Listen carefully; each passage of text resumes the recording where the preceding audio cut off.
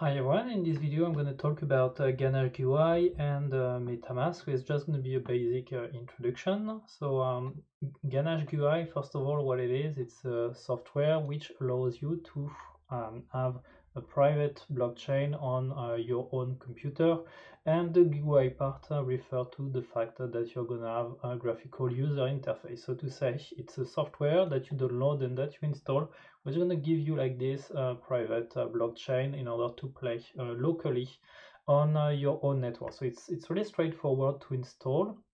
It's going to give you uh, fake uh, accounts um, for Ethereum. So here we have 10 different accounts and the thing is that um, one of the main action that you would like to perform in order to start to play with your own blockchain is actually to make some transaction. Uh, so to say to transfer some uh, money from uh, one account to another one.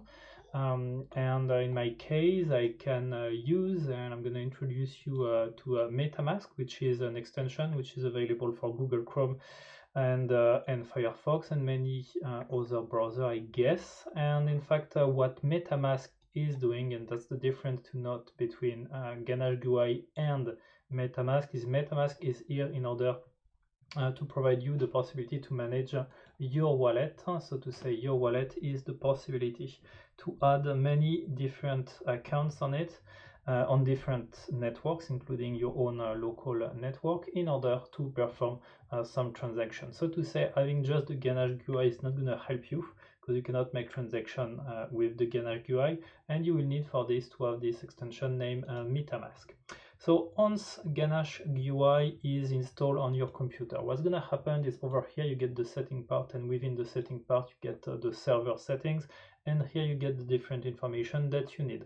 So to say here uh, the address of uh, your local server on which Ganache GUI is set on, here you get the port number and I guess that's the only information that you need in order uh, to kickstart uh, to work with, with MetaMask. Once uh, MetaMask is installed, over here you will have the possibility uh, to go and select the network on which you want to play. So you're going to click over here on uh, RPC, uh, custom RPC, and here you're gonna enter here the information that you want. In my case, just insert my own blockchain. Then the URL is HTTP, in my case, 127 uh, one and then the port so to say here. Uh, then id of the chain. In fact i don't know what it is but when you click here on save it's going to tell you that this number is not right and uh, that you should enter another one and they give you the right one. So uh, once you do so once you validate uh, those uh, those three parts you're going to con be connected in fact uh, to your own blockchain. So this is uh, this is mine. And then you can uh, start to play with it because what's going to happen over here is that you get the different account uh, that you can uh, that you can create. So here um, I'm going to import an account.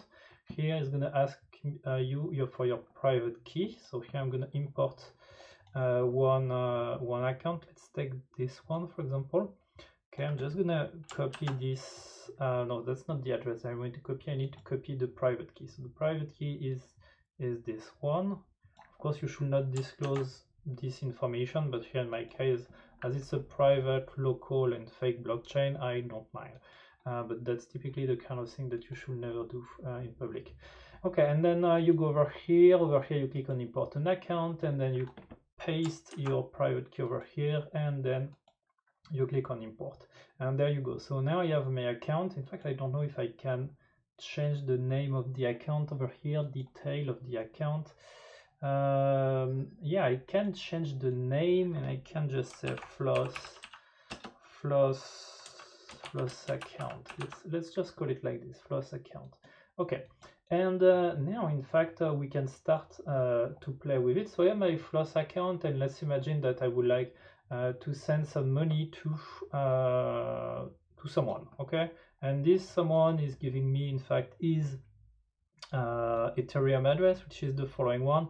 And I need to transfer uh, him or her uh, total amount of 50 uh, Ethereum. So what I'm going to do is I'm going to go over here. This is my Floss account. I want to send him or her some money. So I'm just going to paste over here the given address. Going to recognize it automatically. Here I'm going to define the amount that I want to send, so to say here 50 Ethereum. Here I get uh, from what I have the feeling it is, it's the price of the transaction. So there are some fees in order to mine on a blockchain. So I'm gonna have to pay 50 Ethereum plus something, a little something, which is represented by what they call here the price of the gas transaction.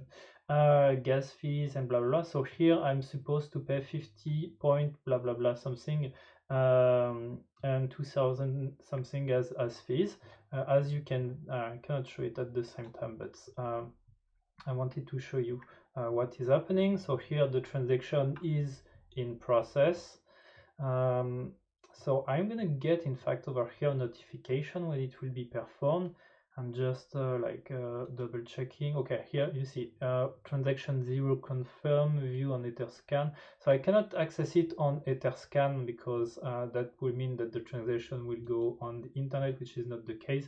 But as you can see, uh, the account has been uh, debated and it has been sent to this given address to which in fact I could have given a name as well in order to track it better and um, and now I can definitely see it over here. As you can see I don't have my uh, 100 Ethereum anymore. And here I'm getting in fact the, the balance which is credited.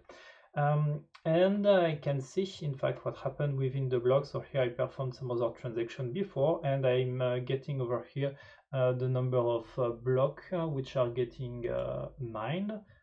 So here it is uh, do I get more information value? I guess so. I guess there it is, and here I get uh, more information. So as the transaction with uh, the value. In fact, I don't know very much what is the difference between the blocks and the transaction, but all I can tell you is that as you can see, it works and that you can play with Ganache GUI and MetaMask. Hope you enjoyed this video. Thanks for watching.